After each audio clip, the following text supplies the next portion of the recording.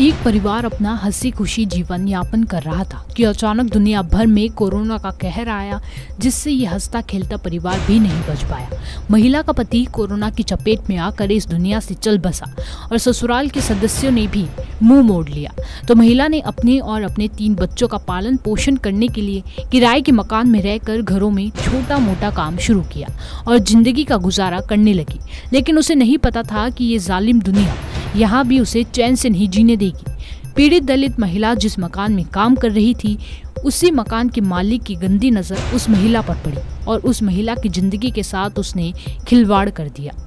अब अकेली महिला अपने तीन बच्चों के साथ पुलिस और कोर्ट की शरण में न्याय और सुरक्षा की मांग कर रही है। हाँ पिंकी क्या मामला है? क्या हुआ? मेरे साथ अत्याचार हुआ है। मैं तीन साल से मेरे पति ऑफ़ हो गए कोरोना में। उसके बाद में मैंने महीने भर बाद में झाड़ू पोछे के धंधे में लग चुकी हूँ। तो मैंने सबसे पहले गौरव लोडा के वहाँ काम करने गई थी। उसके अलावा तीन चार घर और भी किए थे। लगभग दो साल तक तो मुझे सही लगा। उसके बाद में इसने धीरे धीरे मेरे सारे काम छोड़ा दिए दो साल बाद में इसके जो सेंट्रल गार्डन में तीन गटर के अंदर आदमी मरे थे। उसके बाद में इसकी पूजा लोडा जेल में गई थी।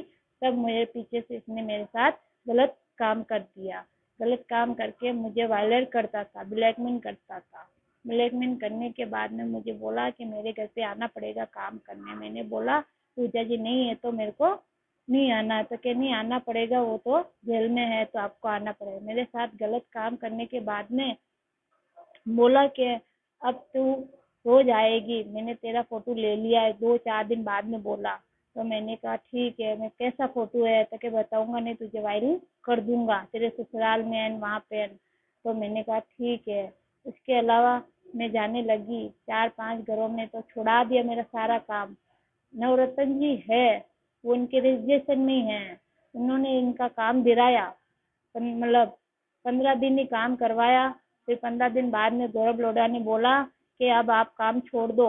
नहीं छोड़ोगे तो मैं आपको वायरल कर दूँगा, मैं आपको जो भी होगा कर भी करूँगा। तो मेरे साथ कुछ भी नहीं किया इन्होंने। तो फिर मैंने बोला कि नहीं छोड़ना है तो क्या कि नहीं, आप ऐसे बोल के आओ, मैं बाहर जा रही हूँ, मेरे नानी, दादी जी ऑफ़ हो गए और मैं अहमदाबाद जा रही हूँ।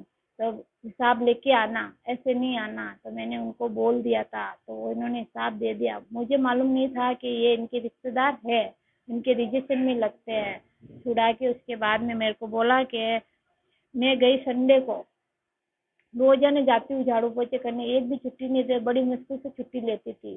तो उसने बोला कि, बन, मैं गई। मैंने कहा आप काम करने लगूँ। तो साढ़े आठ, पौने नौ बजे के लगभग गई। तो मुझे आया अंदर, छेड़खानी की। और मेरी उगाड़ी कर दो मुझे और बोला कि मुझे तेरी बेटी दे दे या तेरा बच्चा दे दे फिर गार्डन में रखूँगा तुझे नौ महीने तक। किसी को मालूम नहीं पड़ने दूँगा तेरे ससुराल तेरे ससुराल वाले तेरे कोई काम के है नहीं मैं अब तेरे काम आ जाऊँगा। मैंने कहा हाँ। हाँ बच्ची की डिमांड की थी कि नौ महीने में रखूँगा सेंट्रल गार्डन में नौ महीने में बच्चा देना पड़ेगा। नहीं वो शादीशुदा है बच्चा नहीं हो रहा इसलिए मेरे ऊपर कर रहा है। शादी हो रही उसके आठ साल हो गए और कोर्ट मैरिज की इन्होंने। उसके अलावा मेरे साथ ऐसे किया मैंने इनकार किया तो बोले कि है ना मैंने कहा आप तुम हत्या मुझे हद ही पार कर ली। अब मेरे से सहन नहीं हो रहा है मैं पुलिस थाने जाऊँगी। जैसे ही मैं घर से बाहर निकलने लगी भगी तो पूरे पूजा लोडा गौरव लोडा दोनों ने मुझे खींच लिया। खींच के, शारदा वो वगैरह सबको बोला कि इसका फ़ोन को चाबी को से ये फ़ोन लगा रही है। तो मेरा फ़ोन बंद करके बंद रख दिया, चाबी ले ली। चाबी लेने के बाद में मुझे ना धड़ा धमका के बोला कि तू बोल, मेरे सोना लेके गई है, ऐसे करके गई है। साबित कर तू, मेरा पति के जैसे करना पड़ेगा तुझे। तो मेरा झूठा वीडियो बनाया वहाँ पे। बंदी बना के दो तीन घंटे बंदी बना के रखा। फिर और आज दो तीन घरों में काम करती थी, एक घर वाली मालिक को बुलाया कि तुम्हारा भी चोरी हो गया, ऐसे बोलो, उनको बुलाओ। और तू अगर थाने गई ना तो तेरा कुछ नहीं होना है। मैंने सेंट्रल गार्डन में तीन आदमी मरे थे, उनको ही नहीं छोड़ा तो तुझे क्या छोड़ूँगा अब? और अब तुझे ना क्या करना है? मैं कहूँ जैसे ही करना है। अब चल, तेरे घर पे कितने गहने हैं, वो बता दे। अगर मेरे होंगे तो लूँगा, नहीं तो नहीं लूँगा। तो मेरे उससे पहले मेरे बच्चों के पास आके गया, मुझे बंदी रख के। बच्चे को बोला कि चाबी दे, बच्चे ने बोला, चाबी है ही नहीं। कि बाहर किसी को बताया करा तो तुझे ना, तेरी मम्मी को, तेरे को मार दूँगा। ठीक है तो बच्चे ने किसी को कुछ बोला ही नहीं। तो मैं आई, मेरे को साथ में लेके आए। उसके बाद में गहने निकाले तो बोले कि सब बुआ ली उसकी पूजा लोडे ने, उनके फ़ोन में वीडियो है पूजा लोडा ने। गौरव लोडा ने वीडियो बनाया उस गहने के।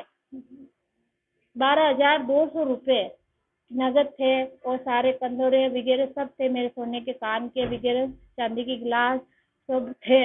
अंगूठी वगैरह सब थी कानों की बालिए पाँच छह जोड़ी छड़े की सब थे मेरे चांदी के।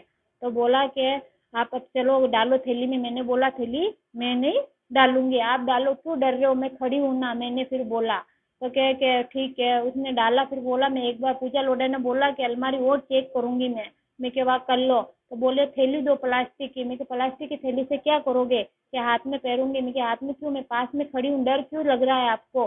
तो बोले कि, ठीक है। तो हाथ डाल के मेरे जो पालने आपकी पेंसिल के पैसे लाए हुए थे बच्चों के, नौ हज़ार, वो दो, तीन हज़ार दो सौ रुपये अलग थे, वो उसने ले चुकी।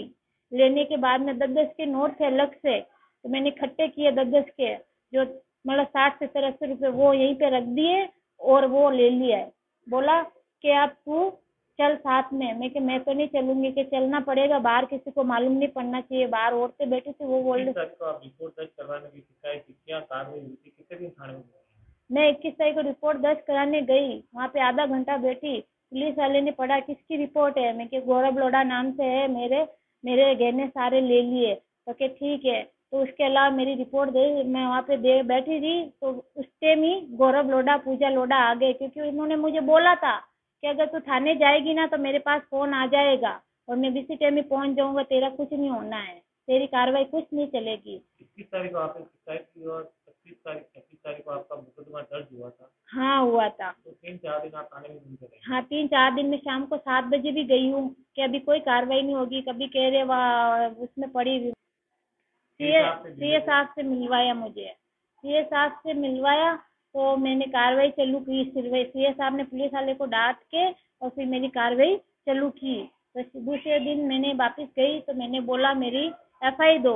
सीए साहब ने फिर मुझे एफ़ आई दी। सीए साहब को जो मेरी घटना हुई मैं डर के मारे नहीं बता रिपोर्ट में नहीं लिखाई तो डर के मारे मेरे हिम्मत दिलाई मम्मी वगैरह। तो मैंने मैंने बताया सी साहब को। सी साहब ने बोला कि लिखाया क्यों नहीं? मैं क्या डर के मारे मैं बदनामी के चक्कर से नहीं लिखाया है।